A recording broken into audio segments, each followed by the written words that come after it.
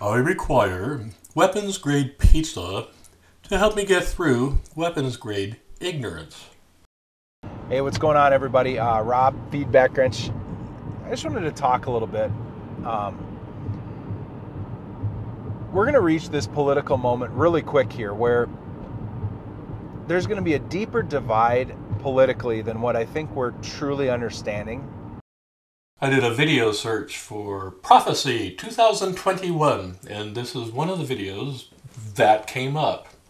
As for political divisiveness, it is good news that the fascists and the liberals have something in common. We don't want the conservative Biden running the White House. What we don't have in common is the fascists believe that Biden is liberal, and the liberals acknowledge the fact that Biden is conservative. So let's see what this um, genius has to say. But it's going to come down to this Will conservative business people, business owners, and professionals hire liberals? Will, as in future tense? Conservatives are already hiring liberals. Liberals are already hiring conservatives. I don't get it. And will liberal business owners and professionals hire conservatives?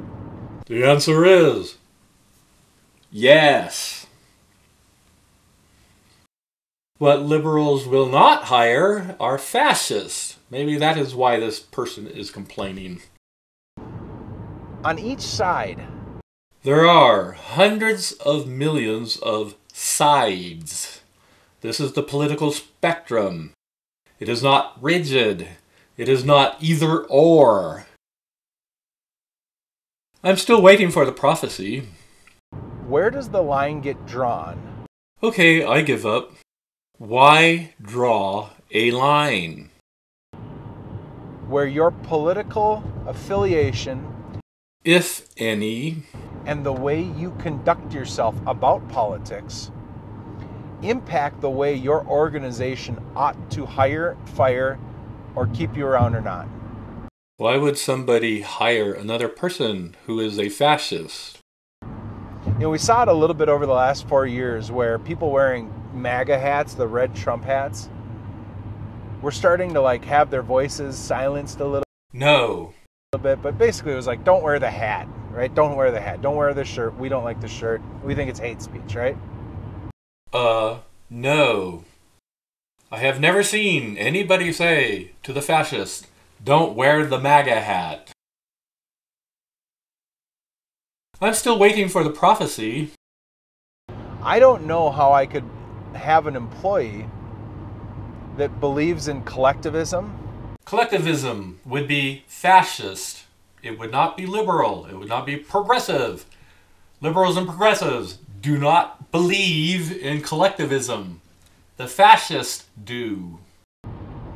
That doesn't understand supply and demand economics and how demand side economics actually creates nothing and that destroying incentives it is a demonstrable fact that supply side economics does not work. To it, tax money that everybody is getting taxed for being given to the fabulously wealthy would somehow magically improve the economy and improve individuals' economic status. No. Supply side supply side economics has never worked. We have seen for over 40 years that it does not work. But demand side economics does. When you have supply side economics, you then have to persuade people to buy whatever is being sold. And that is the only reason why advertising exists. With demand side economics, only what is demanded is produced. And will be sold because there's a demand. Don't even need advertising. People want it, people need it, they will buy it. Like the incent the there's two opposing viewpoints here, guys. No, there are hundreds of millions of viewpoints on this, guys. One says that if you make money off of the labor of others, that you're evil. Uh, no. And that you're the evil capitalist. And the other one says, wait a minute, I want to create jobs and hire you. No. The other one says, if you give tax money to the fabulously wealthy, everybody is better off. This is, of course, false.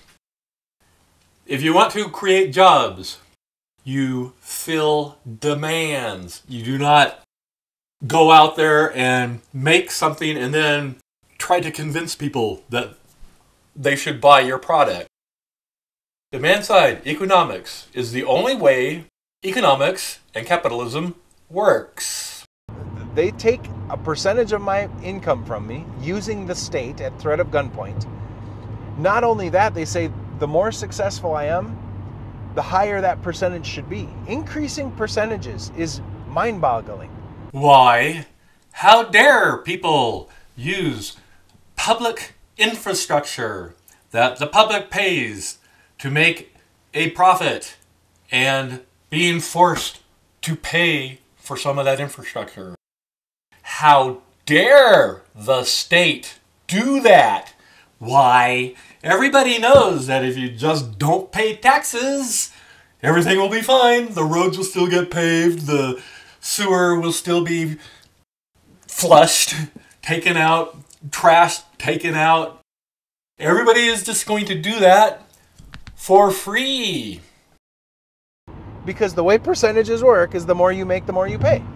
Uh, no. If that were true, there would be no poor people because poor people work their bloody asses off six days a week from sunup till past sundown. For example, New Mexico.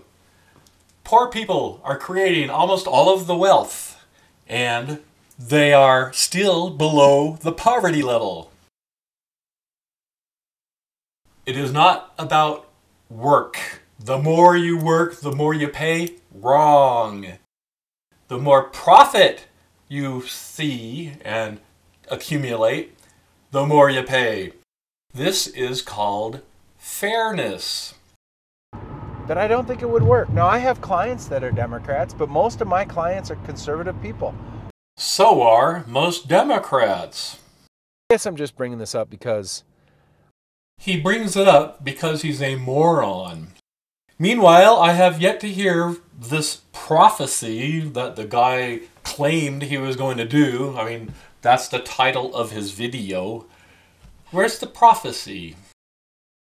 Good luck. God bless everybody. Um, hopefully, this is helpful. Huh? Did everybody sneeze? Meanwhile, no prophecy in this clown's video. He's just somehow forgot, maybe? Maybe he's admitting that a prophecy doesn't actually exist, perhaps? I have no clue at all what this idiotic moron had as his goal. There are no prophecies in his video.